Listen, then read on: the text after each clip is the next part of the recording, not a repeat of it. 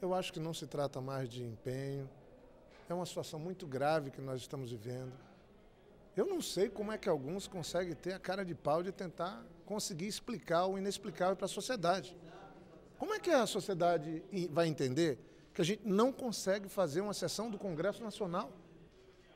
Na hora que o Brasil está enfrentando tantas dificuldades, que a sociedade quer pelo menos saber que caminho nós vamos pegar, apreciando vetos que causam bilhões de custos permanentes para o país, ou não. É como se o Brasil, como se tivessem feito uma blitz ao país e colocassem o país refém de 300 parlamentares que não aparecem.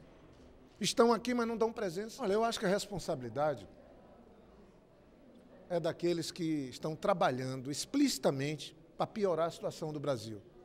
Eles só não assumem que, piorando a situação do país, eles pioram a vida dos brasileiros e criam dificuldades que o Brasil vai ter que trabalhar muito para poder superá-las.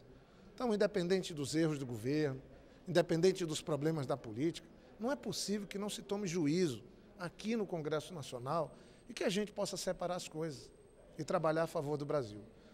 Eu acho que não está faltando nada, não. Só está faltando alguns pararem de trabalhar para danificar mais ainda o Brasil e terem vergonha do que estão fazendo e começar a ajudar na solução dos problemas que possam, de alguma maneira, melhorar a vida dos brasileiros.